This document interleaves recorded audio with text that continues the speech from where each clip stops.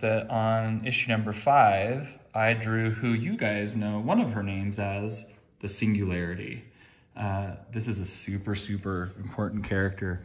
Uh, and I can't wait for you to see a bunch of the cool stuff that will be happening uh, with her over the next couple of years. So, who you guys know one of her names as.